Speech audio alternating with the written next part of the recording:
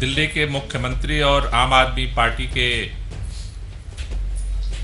राष्ट्रीय संयोजक अरविंद केजरीवाल जी को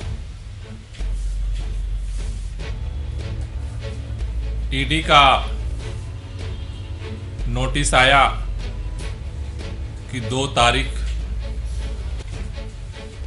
को उनसे पूछताछ की जाएगी। पूछताछ के लिए पहले सीबीआई ने भी बुलाया था। अरविंद केजरीवाल जी, ने उनके सभी सवालों के जवाब दिए थे।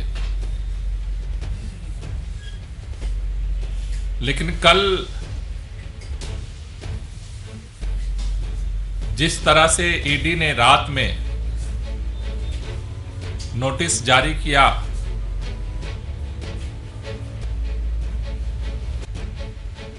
वो इस बात को दर्शा रहा है कि सभी सवालों के जवाब देने के बावजूद भारतीय जनता पार्टी का जो केंद्र की सरकार का जो आम आदमी पार्टी को खत्म करने का मिशन है, वो अरविंद केजरीवाल जी को गिरफ़्तार किए बगैर पूरा नहीं होने वाला। और इसलिए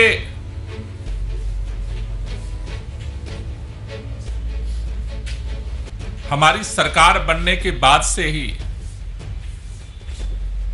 अरविंद केजरीवाल को कैसे खत्म किया जाए, आम आदमी पार्टी को कैसे खत्म किया जाए, किसी न किसी तरीके से षडयंत्र चलता रहा। और अब भारतीय जनता पार्टी के लोग ईडी के माध्यम से उस गिरफ्तारी की तैयारी कर रहे हैं। गिरफ्तारी क्यों करना चाहते हैं? भारतीय जनता पार्टी के नेता ज़ोर ज़ोर से चिल्ला रहे हैं।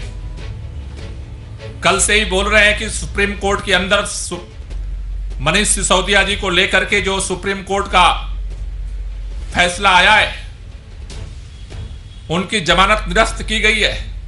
इसलिए अरविंद केजरीवाल गिरफ़्तार होंगे। कह रहे हैं सुप्रीम कोर्ट ने जो टिप्पणी की है, इसलिए अरविंद केजरीवाल अब गिरफ़्तार होंगे। दिल्ली के अंदर जो तथाकथित फर्जी घोटाला हुआ है, इसलिए अरविंद केजरीवाल गिरफ़्तार होंगे। मैं भारतीय जनता पार्टी के लोगों से कहना चाहता हूँ कि आज ईडी ने संबंध दिया है। जब दिल्ली के अंदर 2014 में हमारी सरकार बनी, देश के प्रधानमंत्री माननीय नरेंद्र मोदी जी जब बने थे उसके बाद पहला प्रेम पत्र लेकर के सीबीआई ने मुख्यमंत्री कार्यालय पर छापा मारा था। उस समय कौन सा तथाकथित शराब घोटाला हुआ था? जब सीबीआई ने मुख्यमंत्री के कार्यालय पर छापा मारा था। दिल्ली सरकार के सभी फाइलों को सुंगली कमेटी बना करके जब्त कर लिया गया था। तीन महीने तक दिन रात जाँच हुई थी फाइलों की। एक एक पन्ने को लेंस लगा करके छाना गया था। उस समय कौन सा शराब घोटाला हुआ था? सीबीआई ने जब मुख्यमंत्री के कार्यालय पर छापा मारा तो क्या निकला?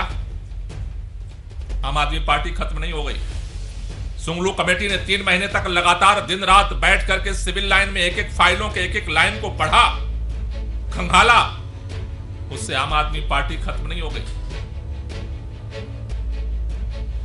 दिल्ली के अंदर जब दोबारा ऐसा लगता था भारतीय जनता पार्टी को कि एक बार लोगों ने गलती से आम आदमी पार्टी की सरकार बना दी। सत्तर में से सड़सठ दे दिया जिसे इत्तेफाक भारतीय जनता पार्टी के नेता कहते हैं इतफाक है। बाई चांस केजरीवाल को लोगों ने मुख्यमंत्री बना दिया। पाँच साल हमने काम किया, दोबारा पूरी एड़ी चोटी देश भर के सभी भारतीय जनता पार्टी के नेताओं ने सारी ताकत झोंक दी जब इस बात का अहंकार था उन्होंने कि पूरे देश के अंदर, दुनिया की सबसे बड़ी पार्टी है भारतीय जनता पार्टी। और देश के अंदर उत्तर, दक्षिण पूर्व पश्चिम, उसका साम्राज्य का विस्तार हो रहा है। दिल्ली के अंदर उनके नाक के नीचे दोबारा इलेक्शन हुआ और उस इलेक्शन में आठ सीट केवल दिल्ली के अंदर उनको नसीब हुई थी। सत्तर में से बासठ सीट अरविंद केजरीवाल को दिल्ली के लोगों ने दिया। और दिल्ली के अंदर दोबारा सरकार बनी। दिल्ली के लोगों ने जब एमसीडी की तरफ़ उनकी विदाई का जब कारवा बढ़ाया, आप सबको इस बात का पता है कि क्या क्या षड्यंत्र किया भारतीय जनता पार्टी ने। एमसीडी का मार्च, पिछले साल मार्च के महीने में एमसीडी का कार्यकाल खत्म होने वाला था। चुनाव आयोग ने प्रेस कॉन्फ्रेंस बुलाई कि एमसीडी के चुनाव की घोषणा होनी है। पत्रकार सभी पहुँचे वहाँ पर कि आज तिथि की घोषणा होगी। आधा घंटे पहले चुनाव आयोग के पास प्रेम पत्र पहुँचता है और चुनाव आयोग को मजबूरन घोषित करना पड़ता है कि चुनाव पोस्टपोन कर दिया गया। ऐसा कभी नहीं हुआ। उसके बाद फिर क्या षड्यंत्र हुआ? कि दिल्ली के तीनों नगर निगम में दिल्ली की व्यवस्था खराब हो रही थी, इसलिए दिल्ली के नगर निगम का एकीकरण करना है। एकीकरण के नाम पर उसका परिसीमन किया गया। परिसीमन के बाद फिर टालते टालते टालते टालते टालते टालते सीबीआई ने मनीष सिसोदिया जी को बुलाया। जेल से डेली लाइव टेलीकास्ट होता था। गुजरात के चुनाव जब हो रहे थे, उस समय दिल्ली में एमसीडी का चुनाव घोषित किया गया। और फिर भी परिणाम क्या निकला दिल्ली के लोगों ने एमसीडी से भी भाजपा की विदाई कर कई सारे लोग कहते हैं कि अरविंद केजरीवाल से भारतीय जनता पार्टी को डर लगता है। इसलिए सबसे ज़्यादा टारगेटेड तरीके से विपक्ष के ऊपर हमले में सबसे ज़्यादा टारगेटेड तरीके से आम आदमी पार्टी के ऊपर हमला किया जा रहा है। सत्ता के अहंकार में समस्त सत्ता की एजेंसियों का दुरुपयोग करके आम आदमी पार्टी को खत्म करने की कोशिश हो रही है। क्यों हो रही है? क्योंकि मैंने कहा कि अगर मसला केवल शराब नीति का होता मुख्यमंत्री कार्यालय पे पहले छापा नहीं पड़ा होता। सुंगलू कमेटी ने फाइलों के एक एक लाइन को नहीं खंगाला होता। नगर निगम का एकीकरण नहीं होता। चुनाव आयोग को आधा घंटा पहले चुनाव की घोषणा के लिए बुलाई गई प्रेस कॉन्फ्रेंस में चुनाव पोस्टपोन नहीं करना पड़ता। दिल्ली के अंदर 170 से ज़्यादा हमारे विधायकों पर पहले मुकदमा करके उनको तोड़ने की कोशिश हुई। क्यों हो रहा है सारा? क्या लेना देना है सब चीज़ों का? दो ही चीज़ दिख रही है। एक, आम आदमी पार्टी इनके नाक के नीचे इस बात का चैलेंज दे रही है और मैं दावे के साथ कह रहा हूँ, अरविंद केजरीवाल को भी गिरफ़्तार आप करना चाहते हो और आप गिरफ़्तार करोगे। आम आदमी पार्टी का हर नेता तिहाड़ के जेल के अंदर अगर आप बंद कर दोगे तब भी आम आदमी पार्टी खत्म नहीं होगी। राख से जो आग पैदा होती है, उसका नाम है आम आदमी पार्टी। आम आदमी पार्टी को खत्म करने की बहुत सारी कोशिशें आपने कर ली, आज तक खत्म नहीं हुई है। जितनी बार आपने खत्म करने की कोशिश की है, उतनी ताकत के साथ आम आदमी पार्टी खड़ी हुई है। क्यों खड़ी हो रही है? क्योंकि आम आदमी पार्टी अपने लिए नहीं काम कर रही। आम आदमी पार्टी देश के लोगों के लिए काम कर रही है, देश के बच्चों के लिए काम कर रही है, देश के भविष्य के लिए काम कर रही है। और खास तौर से आपको जो इस बात का डर सता रहा है कि आम आदमी पार्टी के नेता टूट नहीं रहे, विधायक बिक नहीं रहे, आपके भ्रष्टाचार से लड़ने का पैमाना तो इतना ही है। अजीत पवार एनसीपी में थे तो एडी छापे पड़ रहे थे। उन्होंने एनसीपी छोड़ दी, आपके सरकार ज्वाइन कर लिया ईडी ने पत, ईडी पता भूल गई अजीत पवार। का अब ईडी को नहीं पता सीबीआई को नहीं पता अजीत पवार नाम का भी कोई आदमी है इस भारत के अंदर। उसका भी कोई नाम पता ठिकाना है भूल गई। आपकी लड़ाई इतनी पर तो टिकी है।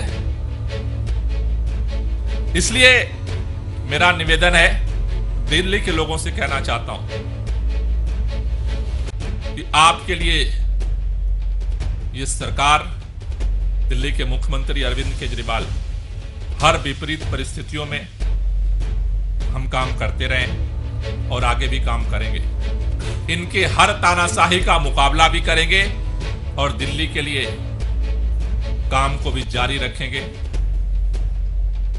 जहाँ तक डर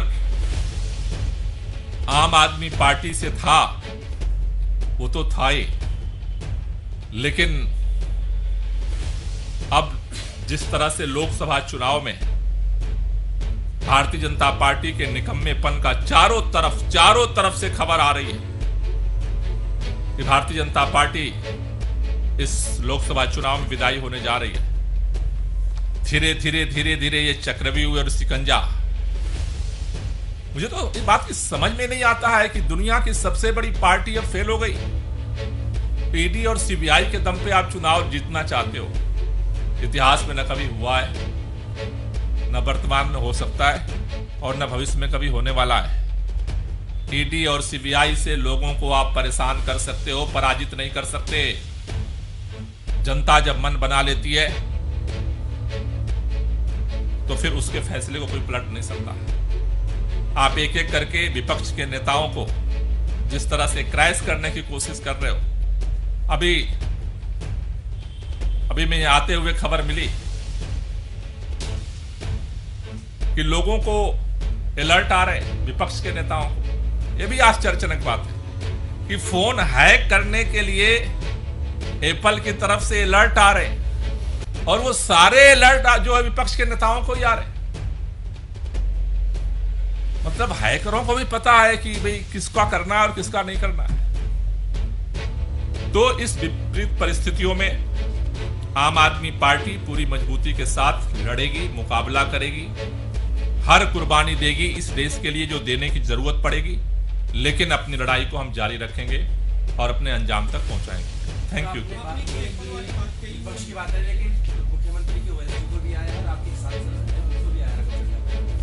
नहीं, वो तो सबको आएगा। वो तो सबको आएगा। जब पार्टी को खत्म करना है तो वो तो सबको आएगा।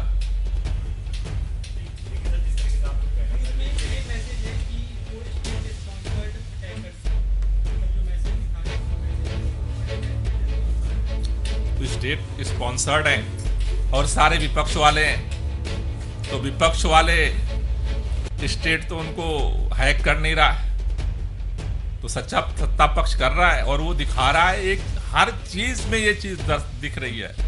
इतना डर इतना डर इतना डर कि आपने मतलब तानाशाही की हर हदें पार कर दी हैं।